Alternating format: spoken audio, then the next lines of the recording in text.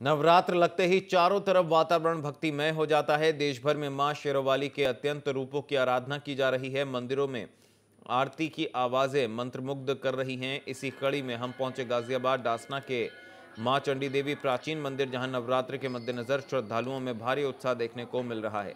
सैकड़ों की तादाद में भक्त यहाँ सैकड़ों साल पुरानी माँ चंडी देवी के मूर्ति पर जल, नारियल और फूल अर्पित कर अपने दिन की शुरुआत कर रहे हैं।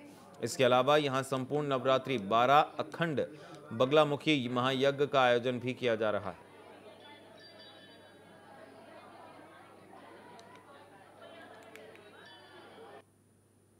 देश भर में नवरात्रे का त्योहार धूमधाम से मनाया जा रहा है और देश भर में माँ शेरावाली के अनेकों रूप की पूजा की जा रही है। इस समय मौजूद हैं डासना के माँ चंडी देवी मंदिर में और हमारे साथ महंत जी हैं। महंत जी से बात करेंगे और जानेंगे कि क्या इस मंदिर की मान्यता देखिए, भारत में जितने भी देवी मंदिर हैं, ये सबसे प्राचीनतम देवी मंदिरों में से एक है।